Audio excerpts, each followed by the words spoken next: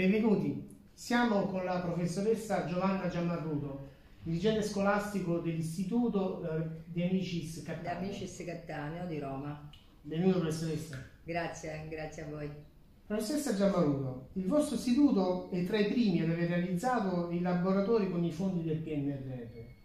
Oggi li avete inaugurati con la presenza del ministro Valditara. Quanto sono stati importanti questi fondi, soprattutto per l'alta tecnologia presente in questi laboratori, in collaborazione anche con aziende del vostro territorio? Beh, sì, eh, diciamo che i fondi del PNRR sono stati una risorsa importante per eh, realizzare, progettare e realizzare laboratori di alta tecnologia con dei macchinari che sono presenti nelle industrie, nelle grandi industrie.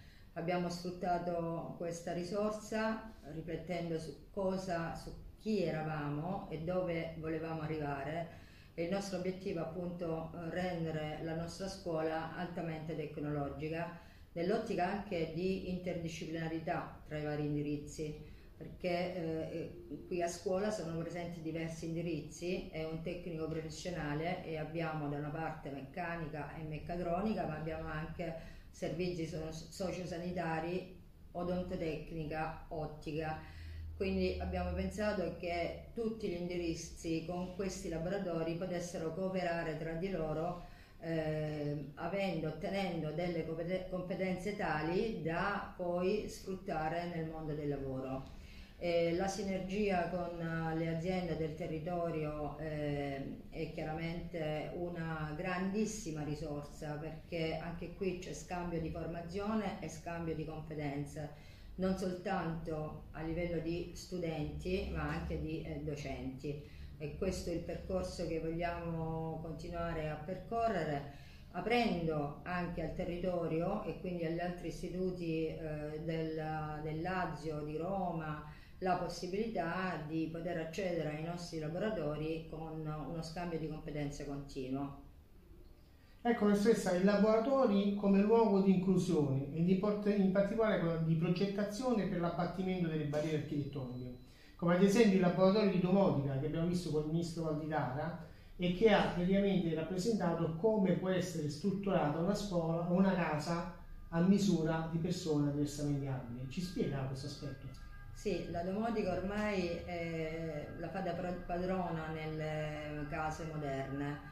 Eh, diciamo che mh, la domotica aiuta molto eh, la gestione di una casa anche a livello di risparmi, ma eh, noi eh, abbiamo sottolineato il valore che la domotica può avere nell'aiutare le persone disabili perché con dei semplici comandi vocali eh, anche persone che magari sono allettate possono aprire semplicemente delle tapparelle o accendere e spegnere le luci oppure chiamare magari eh, al telefono qualcuno per cui è di fondamentale importanza la domotica a livello ehm, di mh, mm, disabilità perché aiuta tantissimo eh, fa sentire spesso le persone un po' più autonome Ecco, diciamo anche prima il laboratorio come inclusione, quindi dietro allo studio e alla realizzazione del laboratorio c'è anche una didattica per laboratoriale. Come avete approcciato a, questo a questo, eh, questa caratteristica?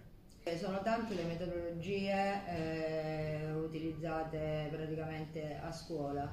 Eh, di sicuro un cooperative learning eh, fatto anche con i ragazzi diversamente abili eh, e soprattutto una metodologia del peer-to-peer eh, tra studenti.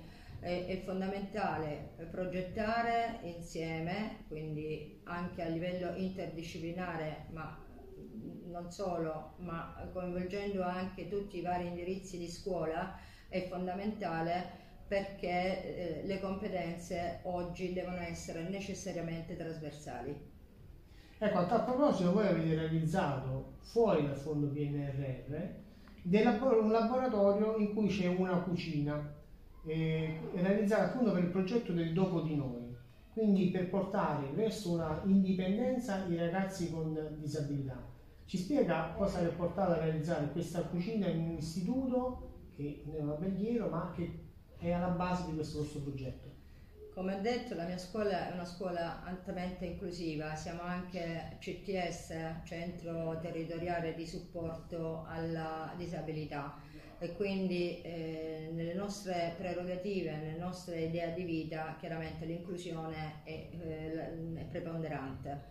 Abbiamo realizzato questa cucina perché abbiamo, abbiamo creduto che un progetto del genere possa rendere quanto più possibile autonomo eh, il ragazzo diversamente abile. Eh, um, c'è l'acquisizione di diverse competenze come per esempio la cognizione di ciò che bisogna mangiare, eh, gli step temporali, colazione, pranzo e cena, le quantità che bisogna eh, manipolare i cibi che bisogna utilizzare, la quantità, quindi la qualità. Per cui sono tutte competenze che rendono i nostri ragazzi sempre più autonomi. Quindi è un progetto di cui veramente eh, ne vado orgogliosa. Ecco, lei mi diceva che questo progetto comunque in alta progettualità che prevede proprio il fatto di andare nei mercati a fare la spesa, quindi questa, questa che abbiamo parlato adesso è la parte finale di questo progetto. Sì, diciamo che sono due step, no? eh, la prima parte riguarda il portare i nostri ragazzi a, nei luoghi in cui si comprano i prodotti.